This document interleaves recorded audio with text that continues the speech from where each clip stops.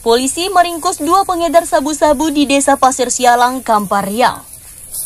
Tersangka menyembunyikan barang terlarang itu di sebuah kebun dan ditutup daun serta ranting. 12 paket sabu-sabu siap edar, satu timbangan, dan tiga gulungan plastik pembungkus disita polisi. Penangkapan JH dan HT memicu perhatian warga yang ramai datang ke lokasi. Dalam pengembangan, polisi menggeledah rumah tersangka namun tidak ditemukan barang bukti lain. Kedua tersangka sudah menjadi target polisi menyusul laporan warga terkait maraknya peredaran narkoba. Polres Narkoba Polres Sampang berhasil mengamankan dua orang terduga pelaku pengedar narkotika di daerah Pasir Sialang dengan inisial yang pertama JA, yang kedua eh, HT.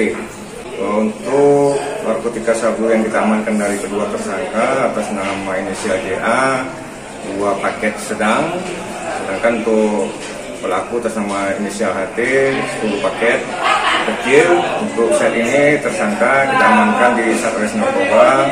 Untuk kita proses lebih lanjut. Para tersangka dikenai pasal 112 Undang-Undang Nomor 35 Tahun 2009 tentang narkotika dengan ancaman hukuman 5 tahun hingga 20 tahun penjara. Ahmad Dison dan Firman Domo melaporkan dari Kampar, Riau.